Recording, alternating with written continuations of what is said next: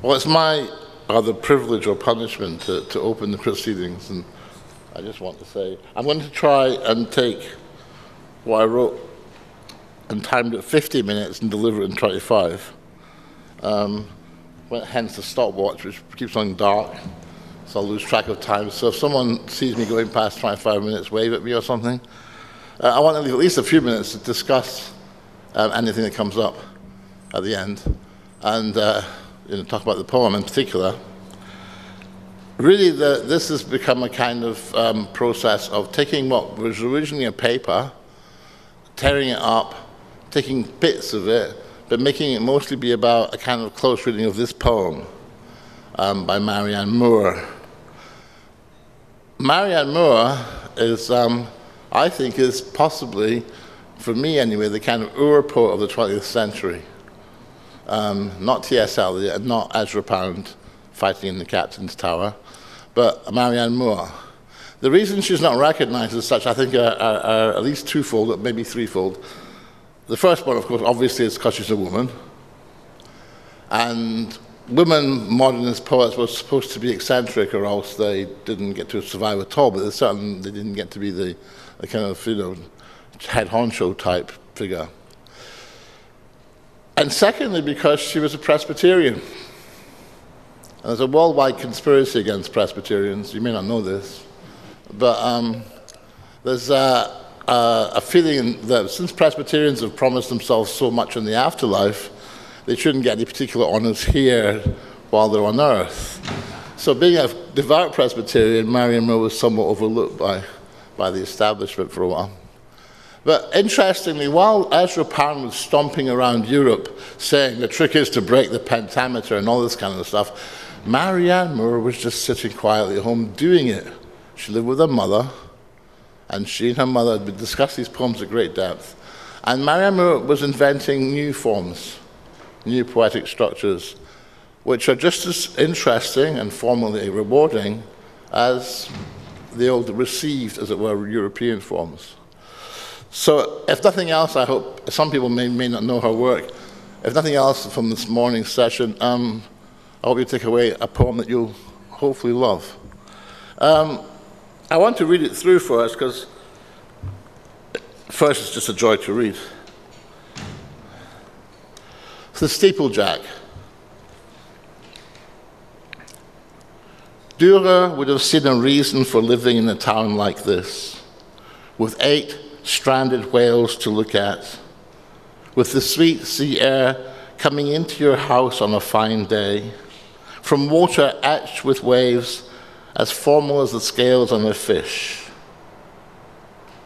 One by one, in twos and threes, the seagulls keep flying back and forth over the town clock, or sailing around the lighthouse without moving their wings, rising steadily with a slight quiver of the body, or flock mewing where a sea, the purple of the peacock's neck, is paled to greenish azure as Dürer changed the pine green of the Tyrol to peacock blue and guinea grey.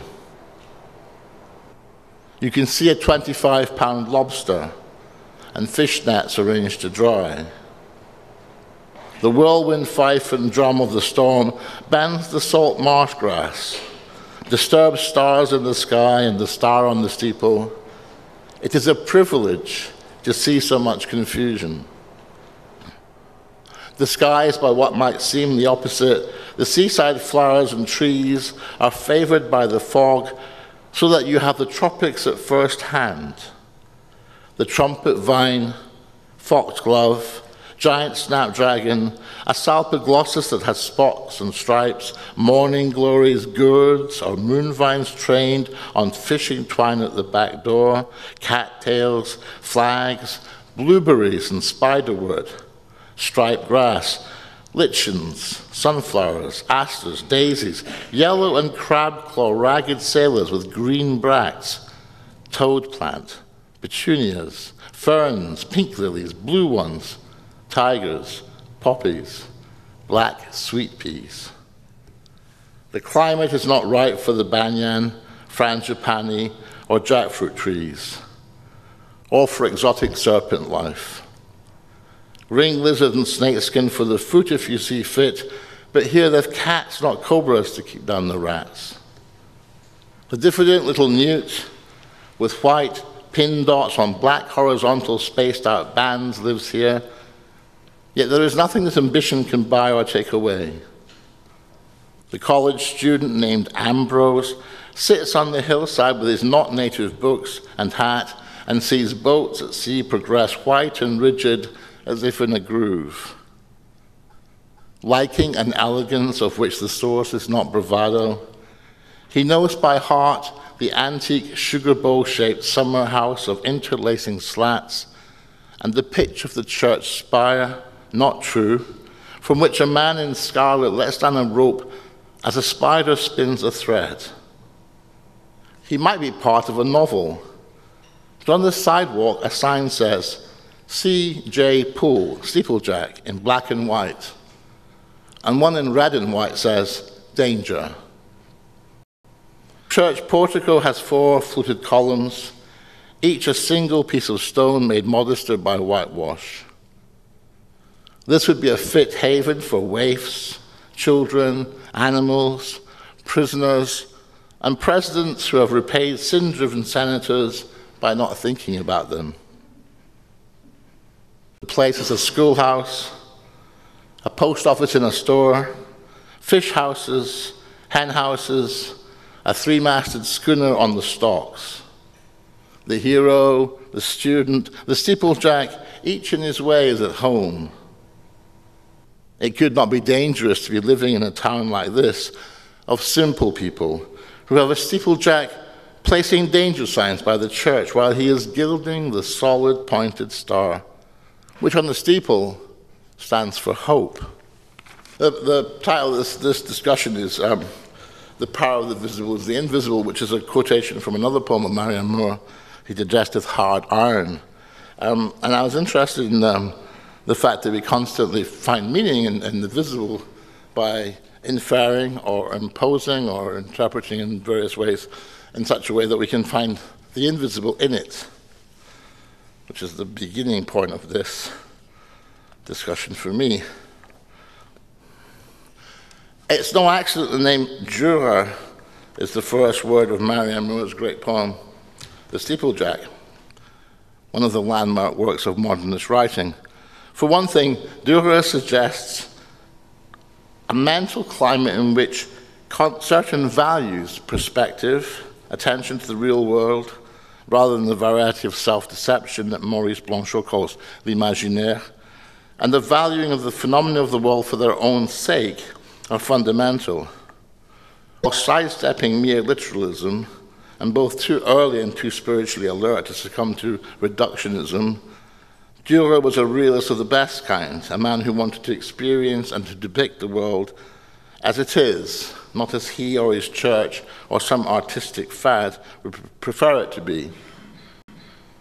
Of course, he would have enjoyed living in a place that has eight stranded whales to look at, with the sweet sea air coming in on a fine day, with water etched with waves as foam as the scales on a fish just as he would have noticed and approved the way in which the local builders had learned from their surroundings when constructing the antique sugar bowl shaped summer house of interlacing slats. And this is something Moore does all the way through the poem, is to show echoes of the constructed world and the natural world. And the poem itself echoes this as well in its structure. I, don't, I haven't got time to go into the form of it, but if you look at the form, you'll see there's a very clear structure there which repeats in a similar irregular way, if you like, almost like a wave structure. And, and this is the, a key point of the poem. Everything that's, in, everything that's right about this panoramic view of this town is because it's right because it's based on observation of nature, of, the, what's really there in the world, not imposition of order, of, of human order. The human made echoes the form of the sea, the fish scales are echoed in the waves, the waves are echoed in the sugar bowl summer, summer house.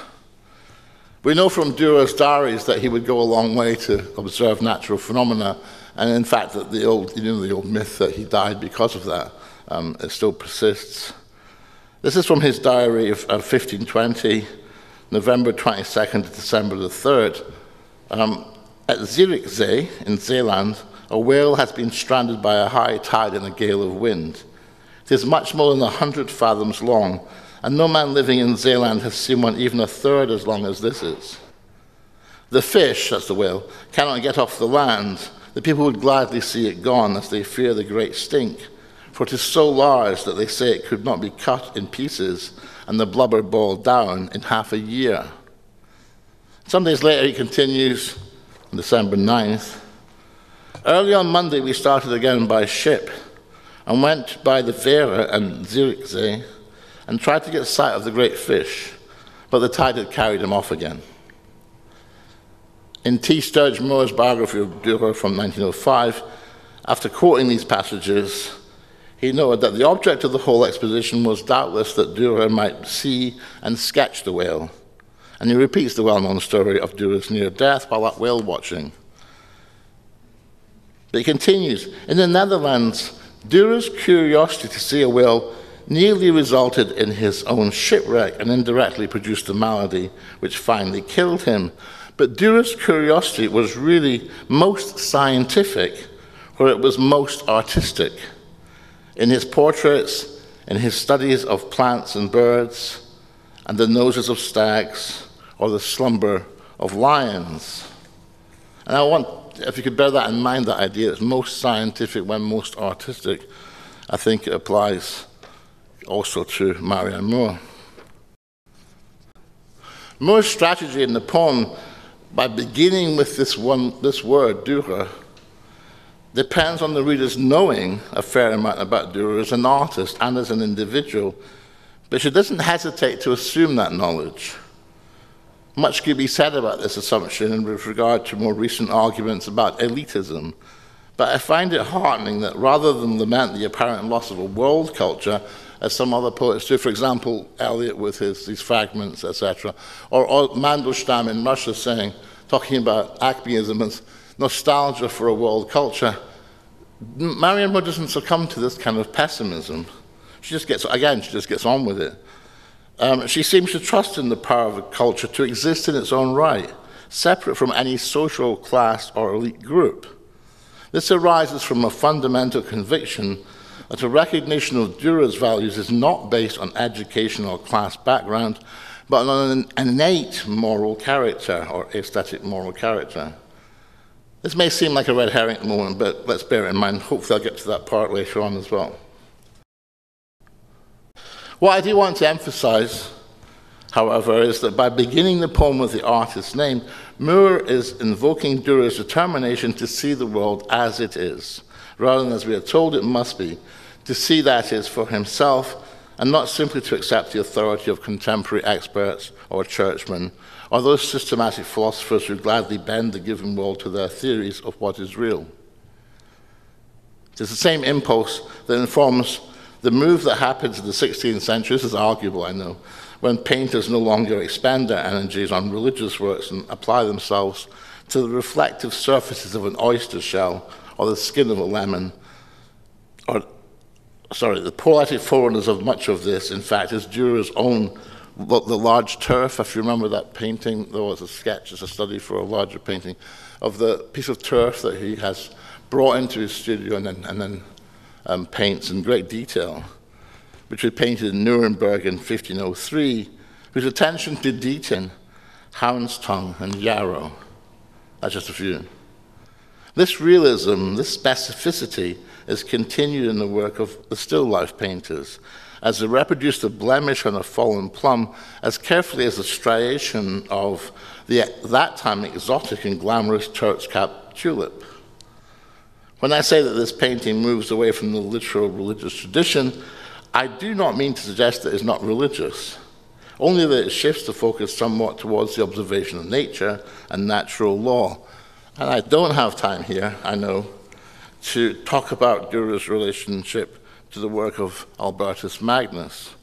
But um, there's, there's, there's, there are clear lines to be drawn, that, and Dürer was influenced by Albertus Magnus' thought. Um, and, and I take for one little tag to give myself some authority, referring back to Jacob's talk yesterday, from Albertus Magnus. The aim of natural philosophy is not simply to accept the statements of others, but to investigate the causes that are work, at work in nature. And again, this is emphasizing the observation of nature as the basis for one's artistic work. Um, we find echoes of this everywhere. We find echoes of this in, in Taoist thought in, in, in China, etc. One has to look at the natural world before commencing very carefully. There's nothing wrong with painting the world as a reflection of God's grandeur. Just as long as it is this world you are painting, this is uh, my extrapolation from Albertus Magnus, because there is this world and not another idealized place that God, however you choose to think of him, her, or it, uses to mirror that grandeur. To wink at the distractions devised by human agencies, from the Roman Senate to Microsoft, is to divert us from, real, from the real to something else, to close our eyes, to close our eyes on the given world, what we call nature, is something close to blasphemy in that way of looking. However, the invocation of a kind of Dürer set of values is only half of what Marianne Moore is doing here.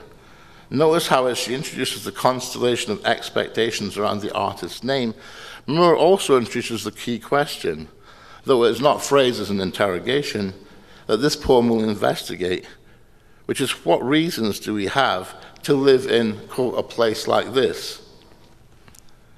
What follows, as we have seen, is a panorama of a typical New England coastal town, whose only visible inhabitants are a student named Ambrose and a steeplejack named C.J. Poole. Clues abound throughout the poem that the speaker is as non native as Ambrose's hat and books.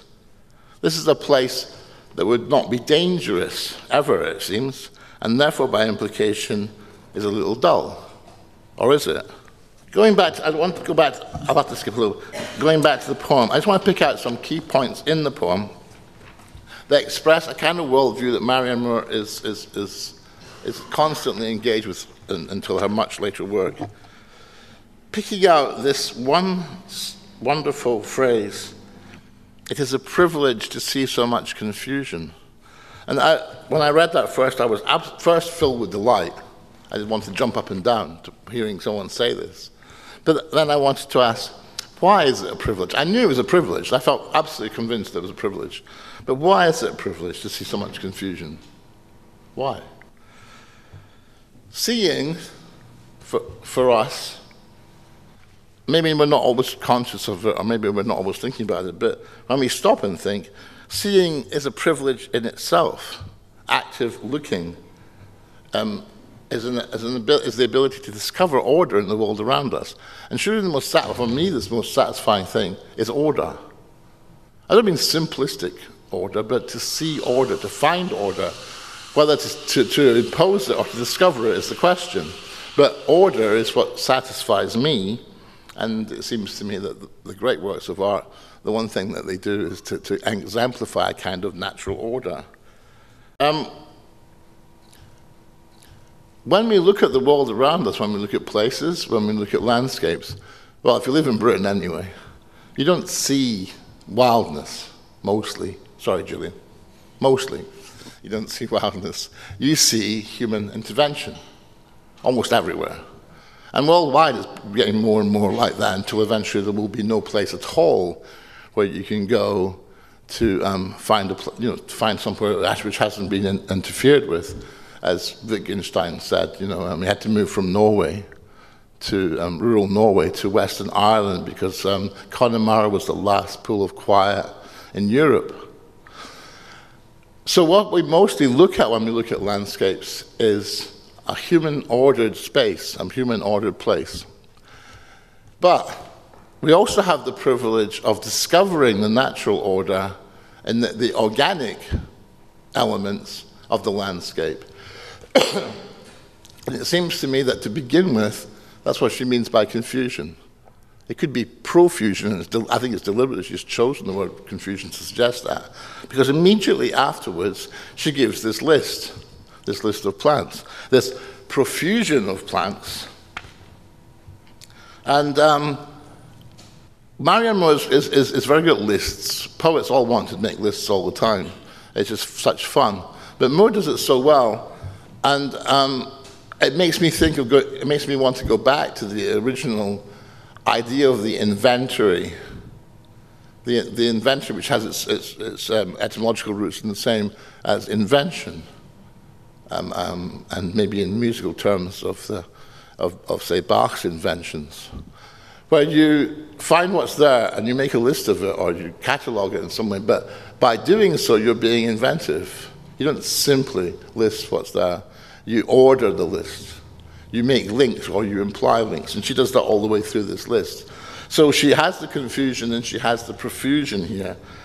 But the human mind makes order of all of this. And that's what we're constantly doing um, and by, looking and seeing. And I have a, a huge passage from um, Arne Naess on this whole subject now, but I won't read it out because I haven't got time. But um, if anyone wants any references on that, just let me know. But we go on from this profusion, confusion, we go on to the idea of liking and elegance of which the source is not bravado. And that's key, it's a very Presbyterian idea, if you like.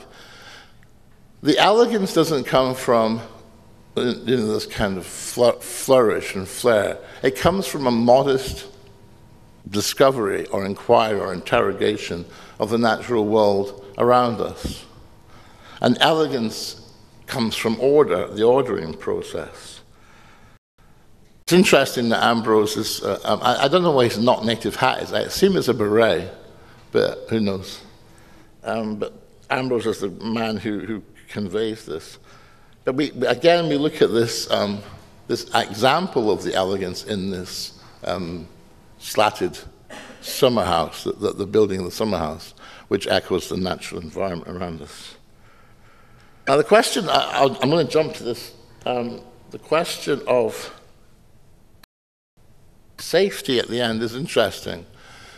It could not be dangerous to be living in a town like this. Um, I don't know, I, I, don't read this as Marianne Moore making that as a statement. I think she's being ironic. Of course, it's dangerous to be anywhere. Um, but the question is, what is home? What the question she's raising at the end there is the idea of home. And is home dangerous to us? And I want to conclude my bit, but let, us hope there's some time for discussion, by talking about this through, through the eyes of somebody else, a kind of tangential um, Yi-Fu Tuan. Um, his book Space and Place is a um, human geographer, and I very much liked his discussion of the relationship between space and place and how we make home in space by, by making it place. And just to flag up what I really want to talk about at the end, which I haven't got time for, which I hope we'll get into, space is, is a real thing, and it's also a false thing once we get developers talking about it. People create from places spaces again places make spaces, we make spaces into places to make them into homes. And then developers and, and, and opportunists of various kinds, pioneers, so called, um, colonists, change places back into spaces again so that they become neutral and empty, and you can stamp whatever you like on that. And I think that's something I hope that these discussions we'll have during the next couple of days. We'll pick up on in terms of environmentalism anyway. This is, this, is, this is from this book, as I say, and I'll close with this and hopefully we can discuss it. In experience, the meaning of space is often merged with that of place. Space is more abstract than place. What begins as undifferentiated space becomes place as we get to know it better and endow it with value. Architects talk about the spatial qualities of place they can equally well speak of the locational, i.e., place qualities of space. The ideas space and place require each other for definition.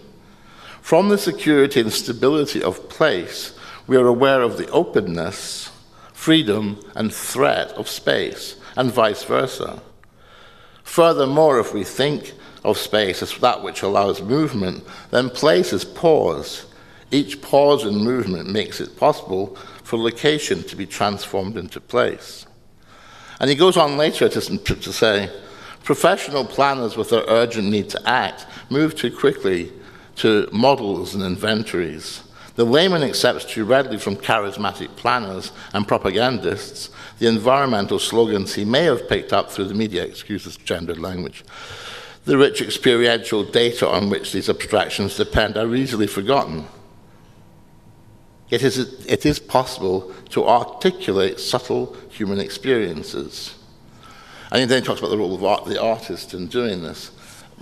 Going back to the poem finally, what I see Marianne Moore doing there is looking at a space, if you like, a panoramic view of an assemblage of human constructions and making of it an ordered unity which one can think of as home. The speaker of the poem doesn't think of it as home, but recognizes it as a place that is home, at least to Ambrose. Notice we don't see anybody else in the poem, so that's implied. But to, to maintain this place, this kind of looking has to happen all the time. And I would argue that, uh, certainly now, at this point in history, one of the jobs of poets is to constantly look constantly to look at places, constantly to argue against the remaking of places as spaces, um, and, and emphasize this idea of home, not only for ourselves, but also for others. I'll stop there and um, perhaps we can. We've got time for a few questions?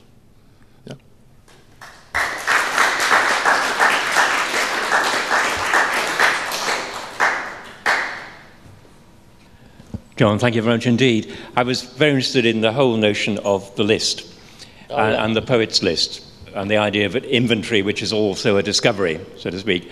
And it seems to me that a lot of very good poetry absolutely teeters on the edge of mere and then and then and then. and the clever thing is what it does is it brings together that mere seriality into something that has a genuine organic unity. And I think that the way you've presented this poem illustrates that. But I'd perhaps you'd like to develop that a bit further.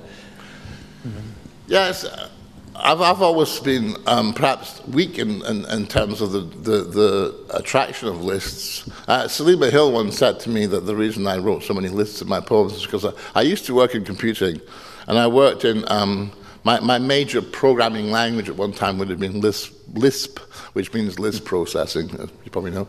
Um, that's a long time ago. Um, and she, she, I mean, she didn't know anything about how Lisp works, but she thought, oh, Lisp processing, that's how he works, uh, and that's why he does that job as well.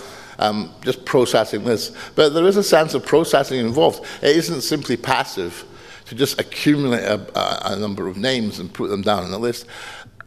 We reorganize the names, we reorganize, and we may infer various kinds of structure there or relationships. Um, I've, I've, been doing lots of arguing with people recently. I, I want to get Newton banned from um, any study of science and have him replaced by Goethe. um, because Newton doesn't, doesn't care about the relationships between things. Yeah. Yeah. And Goethe does. Yeah. And um, Newton's done a lot, obviously Newton's a great mathematician, etc., etc., but Newton's done a lot of harm um, to, especially to the life sciences. And there's um, Alan Moore has a wonderful essay about Newton, um, about Blake's um, depiction of Newton in this cavern, I guess it is. Uh, you know, the, the, the, the Newton sitting there, this, this kind of monstrous human being who's almost the same. He's the same color and texture as the stone around him. And he says the whole scene is unimpeded or unencumbered, I think it is, unencumbered by any sign of the organic. And of course, in general, confusion, apparent disorder comes into the world around us from the organic. Yeah, and, and, and in our own lives, of course, um, you know, uh, illness is, is, is an organic aberration to us, but maybe not in natural terms. So, lists are one way of coming to terms with um, the, the, the, profusion, confusion, and seeming, sometimes seeming, but I don't think ever really, um, a hostility of the, nat- of the organic world that just keeps throwing stuff at us. As a doctor, you'll know how people like to list their symptoms, yeah? I couldn't Try- possibly comment. Yeah. Sorry? Can I ask you just to say a few words about the last word? the last word of the poem. The last word in the poem. Um, you mean just, just that word? Hope. Yeah, hope. I think I have to extend that to being the star stands for hope.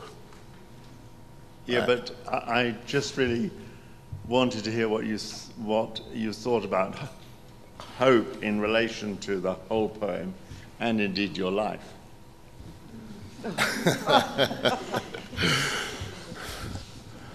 Well, so far, I was just hoping to get through this talk in one piece. So I've achieved that much at least. I was still standing. Um, no, actually, uh, I said to a friend the other day, um, not long ago actually, actually it wasn't, it, was, wasn't the other day, it was a while ago. It was when Donald Trump was elected. I said, hope is the new black. And that's, that was the best I could come up with. Um, I think, I think um, Marianne Moore has the best thing about hope ever, I suppose, um, in her poem, um, The Hero. Um, hope not being hope until all call no my memory's going. Hope not being hope until all cause for hope is gone. I think i can't remember now exactly. Hope not being hope until the, the reason for hoping any reason for hoping. It's like faith. Obviously you can't have faith unless and if you have proof right and if the world's being kind to you you don't need hope but it's interesting that this da- undangerous place has to have a steeple and a star at the top of the steeple that stands for hope. Not for smugness or self satisfaction, but hope. It's an interesting question because um, my sons are obsessed with some TV series which involves basically ritually sacrificing two people from a community to go on for something like that. It's bizarre. But I said to them all, you know, this idea is really Shirley Jackson, the, the lottery. Um, not knowing anything about what they're watching on TV, of course, I haven't got time to sit down and watch it with them. But Shirley Jackson's this great story, The Lottery, in which every year one family draws a, a short straw, and the oldest female member of that family, interesting, it's female, female member of the family is then stoned to death in the public marketplace. And then the, that's a guarantee for the rest of the year that the community will live in this kind of peaceful, quiet life productive, happy, untroubled life. And is that too high? The question really is: Is that too high a price to pay, or would you live in a community like that? And in the, America of the early '60s, I mean, uh, Shirley Jackson got hate mail and death threats for writing that story. Yeah. So um, the question of hope is, is, is immense. The most important thing, perhaps, is that if I have hope, um, and it's my hope, and it's not shared by other people in this room or people in, in South America, is it valid hope at all? Yeah, I mean, uh, I go back to the old idea of the bodhisattva in, in, in Buddhism, where it's a, somebody attains enlightenment and, and, and becomes liberated, but they don't pass into the next stage. They come back and are reborn constantly until, in the hopes of achieving enlightenment liberation for all sentient beings is the usual term. And I think it's quite difficult to hope um, on, on, on, on an individual basis if others are, others are living without hope, if you see what I mean. So this question of what is hope and what is home is there at the end of the poem, and I think it's implied that, that, that it's much more tricky and thorny than she's presenting it as. I hope so, because then it's less of a poem if it's not. Yeah? Have you got, maybe you've got some other views on it? Oh, okay. yeah. You said that um, this natural confusion can mainly be found in the organic elements in our cultivated landscapes.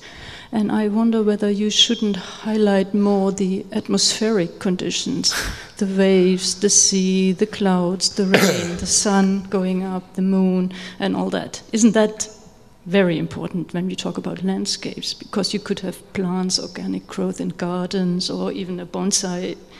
You see? Yeah, yeah, I understand exactly. I, I think I probably misused organic. I pro- I, there's been this problem about using the word nature, certainly in English, for 50 years now, I guess. Um, we, we say nature. If I said, said nature instead of organic, that's probably what I meant in the natural world, in other words, you know, the sea. And of course, the other thing about this, this place is it lives, this place is right next to the ocean. So nothing, if anybody's ever lived right next to the ocean, you know, it's never safe to be living in the town next to the ocean. Every 50 years or so, it'll take everything away from you. Um, I used to live in this fishing village in, in Fife, and we have wonderful or horrible stories from the older people from the fishing days.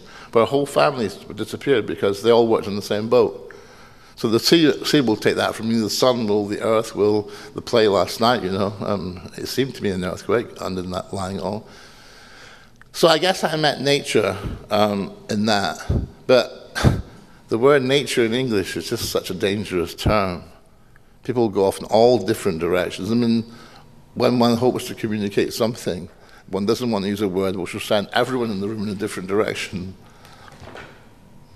But yeah, of course. And, and of course, the finer points of the atmosphere are, are, what we're most worried about now.